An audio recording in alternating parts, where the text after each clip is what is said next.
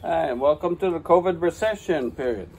Um, I like to read sometimes uh, and share with you, read, um, listeners, uh, stories that I'm reading. This is uh, Kevin Stoda's channel, but I do hope you um, look at my family's channels too, like uh, Vic Barr's channel and uh, uh, Kenzie Mask's channel.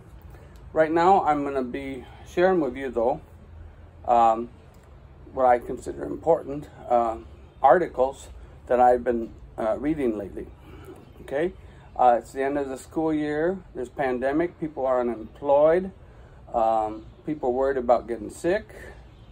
Many people are jobless. Some of my students went homeless during the last uh, weeks.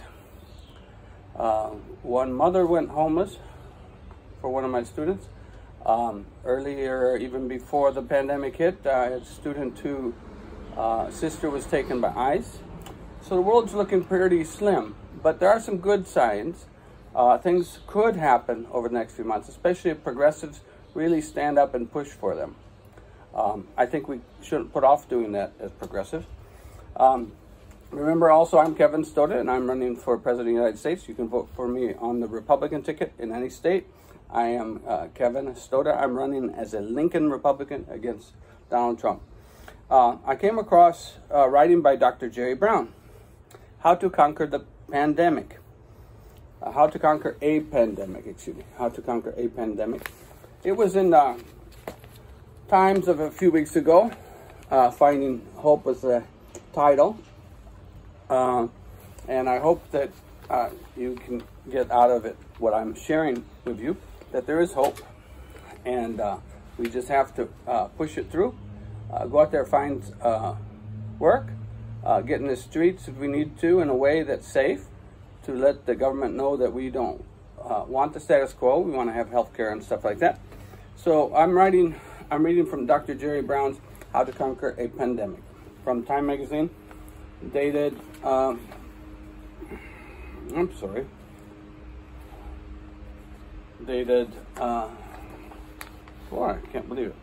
Anyway, uh, April 27th, May 4th. It was a double issue. One of the most important lessons I learned from fighting Ebola outbreak in Liberia is that you have to be prepared before you an epidemic reaches your own doorstep. You have to um, you have less to lose if you make adequate preparations and don't get hit than by waiting for the disease. By then, you could be overwhelmed and not able to contain it. Early preparation is key. In the current pandemic, things were, are getting scarier every day in Liberia. We have limited capacity in many ways, ranging from human resources to equipment, because many facilities are not prepared to handle cases of severe respiratory symptoms related to COVID 19. They have begun to turn away patients, which may worsen the health burden in Liberia. So far, all the patients are responding to a treatment, so people think we are not saying the truth about how bad this will be. The same happened in the Ebola crisis. Until people saw that others were dying, they had doubts that the disease existed. They won't believe it until they see it bodies. If they're not seeing bodies, they're not going to believe. That said, while caring for patients in extraordinary circumstances, you must Remember, it is God who saves lives. You may provide the right medication and have the right equipment, but if someone is bound to die no matter what you do, you will end up losing the person. For me as a physician, this is the most painful part of my service.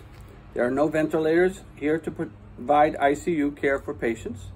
If someone with COVID-19 comes to me in severe respiratory distress, I can't do anything beyond uh, provide supportive care. Um, and slowly he or she may die in my presence. I will feel saddened about it, but I will not feel guilty. The best I can do as a physician is to use my knowledge and available resources to save as many lives as possible.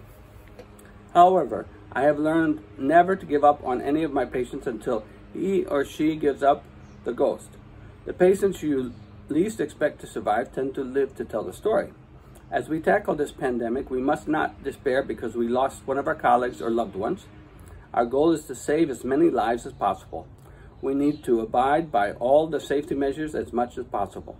If we get sick, we can't do our jobs. One of the best ways to support frontline healthcare workers is first to appreciate their sacrifices. They are making an uh, every day to save lives in the face of limited resources. It doesn't have to be by providing them gold or diamonds or even money, but just a word of appreciation and encouragement.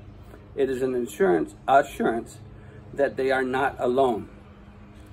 The health workers are our soldiers on the front line. We need to equip them if we want them to fight effectively. They need a safe work environment and the tools to execute their duties, as we would do in warfare. We have to look for all available ammunition and sophisticated weaponry so they can fight the fight and win the fight. This pandemic has proven that no one nation is supreme. It is time we forget our differences and fight the disease